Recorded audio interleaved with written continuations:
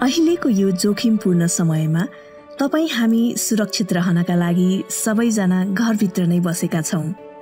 यसरी घरमा रहँदा हामी धेरै टिभी मोबाइल र कम्प्युटर हेर्ने गरेका छौँ। यदि हामीले यो बानीहरूलाई नजरअन्दाज गरेमा हाम्रो शारीरिक र मानसिक स्वास्थ्यमा मात्र नभई यसको नकारात्मक असर आँखामा पनि पर्न सक्दछ। तसर्थ यस्ता असरहरूबाट जोगिनको लागि हामीले घरैमा रहेर नै आँखाको ख्याल राख्नु पर्दछ। वयस्कहरूमा भन्दा बच्चाहरूमा धेरै दृष्टि सम्बन्धी समस्याहरू देखा पर्दछ। त्यसैले बच्चाहरूको दृष्टिमा देखिने लक्षणहरूको जानकारी राख्नु पर्दछ। अन्य आँखाका समस्याहरू भन्दा दृष्टि कमजोर हुनु आम समस्या हो। आँखाको लम्बाइ धेरै वा थोरै भएपछि कुनै पनि आकृतिको प्रतिबिम्ब आँखाको पर्दामा स्पष्ट नदेखिनुलाई दृष्टि कमजोर भनिन्छ। जसको कारण मानिसले नजिक वा टाढाको वस्तु धमिलो देख्छ। बच्चाहरूमा देखिने दृष्टि दोषका लक्षणहरू धमिलो वा अस्पष्ट देख्ने। नजिकै हेरेर काम गर्न गाह्रो हुने र काम गर्दा आँखा दुख्ने र आँसु आउने। कालो पाटीमा लेखिएको अक्षरहरू धमिलो देख्ने। टिभी नजिकै बसेर हेर्ने। टाढाको वस्तुलाई हेर्दा आँखा मिच्ने। हामी घरै बसी काम गर्दा वा खेल्दा जानी नजानी आँखामा चोटपटक लाग्न सक्छ। त्यसैले के कस्ता चोटपटक लागेमा कस्तो सावधानी अपनाउने भन्ने बारे जानकारी हुनुपर्दछ। नानीमा घाउ भएमा। क्लोराम फेनिकल आँखाको मलम दिनको तीन पल्ट तीन दिनसम्म लगाउने। आँखामा धुलो कसिङ्गर पर्न नदिने दुई दिनसम्म पनि ठिक नभएमा आँखा अस्पताल पठाउने। रासायनिक पदार्थ परेमा।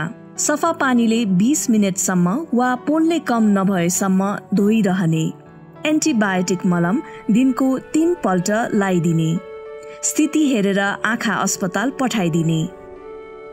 केही कुरा परेमा वा टाँसिएमा सफा पानीले राम्ररी आँखा धुने ननिस्किएमा बल नगर्ने आँखा अस्पताल पठाउने। यदि कोर्निया बाहेक अन्यत्र टाँसिएर बसेमा हल्कासँग बाहिर निकालिदिने। क्लोराम फेनिकल आँखाको मलम दिनको तीन पल्ट लगाउने। आँखाको भाग काटिनु वा फुट्नु कुनै पनि औषधि आँखामा नहाल्ने। प्यारासिटामोल वा दुख्न कम गर्ने औषधि खान दिने। आँखाको गेडालाई दखल नपर्ने गरी सफा पट्टी बाँधिदिने। तुरुन्तै आँखा अस्पताल पठाउने। अहिलेको यो संवेदनशील समयमा कुनै पनि आँखाका रोगहरू लागेमा अस्पताल गएर उपचार गराउन सुरक्षित छैन। तसर्थ यदि निम्न आँखा सम्बन्धी रोगहरू लागेमा दिइएका निर्देशनहरूका पालना गरौँ। आँखा पाक्नु। दिनको चार पल्ट सफा पानीले मुख र आँखा धुने। एन्टिबायोटिक आँखाको मलम वा ड्रप्स दिनको चार पल्ट सात दिनसम्म लगाउने। तिनदेखि चार दिनसम्ममा पनि सुधार नभएमा घाममा हेर्न नसक्ने भएमा वा धमिलो देखिएमा तुरुन्त आँखा अस्पताल पठाउने। खस्रे रोग। दिनको तिन चार पल्ट सफा पानीले मुख र आँखा धुने। टेट्रासाइक्लिन मलम दिनहु दुई पटक छ हप्तासम्म लगाउने। सरसफाइमा ध्यान दिने। आँखाको परेलाका रौँहरू आँखाभित्रपट्टि फर्किएको अवस्थामा तुरुन्त नजिकको आँखा अस्पताल पठाउने। भिटामिन ए को कमी। अस्पतालबाट दिइने भिटामिन ए क्याप्सुल खान दिने। पहेँलो फलफुलहरू खान सल्लाह दिने। झाडा पखाला दादुरा र जुका परेको भए सम्बन्धित अस्पतालमा पठाउने। डेडो आँखा। डेडो आँखा देख्ने बित्तिकै आँखा अस्पताल पठाउने। समयमै डेडो आँखा सिधा नबनाए आँखाले पछि देख्न नसक्ने हुन्छ। डेढो आँखाको उपचार सात वर्षको उमेर अगावै गराएमा आँखा अल्छी भएर दृष्टि गुम्नबाट बचाउन सकिन्छ। प्राय जसो वृद्ध वृद्धाहरूमा देखिने आँखाका रोगहरू जलबिन्दु र मोतीबिन्दु हुन्। यी रोगहरू के कसरी लाग्दछ त्यसका लक्षणहरू र त्यसबाट बच्ने उपायहरूको जानकारी राखौँ। जलबिन्दु। दृष्टि सम्बन्धी स्नानुमा क्षति भएपछि हुन्छ। प्रारम्भिक चरणमा केही मात्र लक्षणहरू देखिन सक्छ वा कुनै लक्षण नै नदेखिन पनि सक्छ र चेतावनी बिना नै आँखाको दृष्टि जान सक्छ। जलबिन्दुबाट ग्रसित धेरै जस्तो मानिसहरूलाई आफूलाई यो रोग लागेको थाहा हुँदैन। दृष्टि हराउने प्रक्रिया प्राय छेउको दृष्टि हराउँदै गएर सुरु हुन्छ। जलबिन्दुको जोखिम रहने सबभन्दा प्रमुख कारणहरूमध्ये इन्ट्राओक्युलर प्रेसर आइपिओ अर्थात् आँखाभित्रको चापमा वृद्धि हुनु हो। जलबिन्दुका लक्षणहरू। यो रोगको सुरुवातमा कुनै लक्षणहरू देखा पर्दैन तर कुनै बिरामीहरूमा निम्न लक्षणहरू देखा पर्दछ। आँखा र टाउको दुख्ने। बनिरहेको बल्बको चारैतिर सप्तरङ्गी घेरा देखिने। नजिकैको चस्माको नम्बर बारम्बार फरक फरक हुने। बिरामीले अगाडिको वस्तु स्पष्ट रूपमा देखे पनि सो वस्तुको वरिपरि भने धमिलो वा मधुरो देखिने। जलबिन्दुबाट बच्ने उपायहरू। जलबिन्दुको सुरुवाती अवस्थाहरूमा नै उपचार भएमा दृष्टि जानबाट बच्न सकिन्छ। यस जलबिन्दुको उपचार औषधि शल्यक्रिया वा लेजरबाट गर्न सकिन्छ। परिवारमा जलबिन्दु भएको व्यक्तिहरूलाई जलबिन्दु हुन सक्ने उच्च सम्भावना हुन सक्छ। त्यसैले परिवारको सबैले समय समयमा आँखाको डाक्टरसँग आँखा परीक्षण गरिरहनु आवश्यक हुन्छ। जलबिन्दुले दृष्टिविहीन भइसकेपछि फेरि दृष्टि फिर्ता गर्न असम्भव हुन्छ।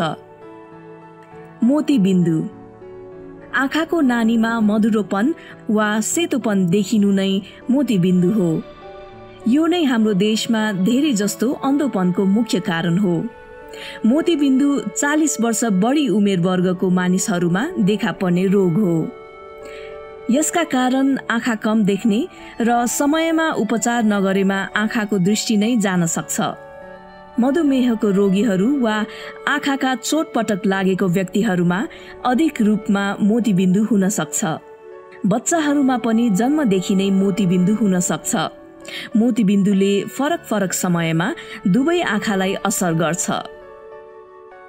मोतीबिन्दुको उपचार। मोतीबिन्दुको एक मात्र उपचार शल्यक्रिया हो। औषधि हालेर वा लगाएर उपचार गर्न सम्भव छैन। आँखाको शल्यक्रिया गर्दा आँखामा भएको सेतोपन वा मधुरोपन भएका नानीलाई निकाल्ने र एक कृत्रिम नानी आइओएल राखिन्छ। आँखालाई स्वस्थ राख्न निम्न सूचित सुझावहरू अपनाउने गरौं। प्रत्येक वर्ष विद्यार्थीको दृष्टि परीक्षण गरी कम दृश्य शक्ति भएमा चस्मा तथा अन्य आँखा जाँच र उपचारको लागि आँखा अस्पताल पठाउने। दृष्टि कम भएका वा एउटै मात्र आँखा देख्न सक्ने भएका विद्यार्थीलाई पहिलो वा दोस्रो बेन्चमा बस्न लगाउने। प्रत्येक विद्यार्थीलाई कम्तीमा दिनको दुई पटक सफा पानीले मुख धुने बानी बसाल्ने। प्रत्येक विद्यार्थीलाई भिटामिन ए युक्त खानेकुराहरू दिनहुँ खानामा खानु पर्दछ भन्ने बारे जोड दिने। आँखामा केही भइहालेमा यस भिडियोमा बताए बमोजिम उपचार गरी आवश्यकता अनुसार आँखा अस्पताल पठाउने। आँखा स्वस्थ र सफा राख्न सिकेका कुराहरूबारे घरका साना भाइ बहिनीहरूमा पनि व्यवहारमा ल्याउने बारे उत्प्रेरित गर्ने। स्वस्थ आँखाका छवटा लक्षणहरू। घडीको सिसा जस्तो देखिने बाहिरी गोलो नानी पारदर्शक हुनुपर्दछ। आँखाभित्रको कालो गोलो नानी कालो रङको र अध्यारोमा फुक्ने उज्यालोमा खुम्चने हुनुपर्दछ। आँखाको सेतो भाग सेतै हुनुपर्दछ। आँखाका ढकनीहरू राम्ररी खोलिने अनि बन्द हुनुपर्दछ। दुवै आँखाको गेडी घुमाउँदा चारैतिर ठिकसँग घुम्न सक्ने हुनुपर्दछ। दुवै आँखाका दृष्टि क्षमता ठिक हुनुपर्दछ। अगाडि उल्लेखित सम्पूर्ण जानकारी निर्देशन र सुझावहरूलाई पूर्ण रूपमा पालना गरेमा आँखाका सबै समस्या र रोगहरूबाट बच्न सकिन्छ र साथसाथै आँखा स्वस्थ रहन्छ। स्वस्थ आँखा हाम्रो अभिलाषा।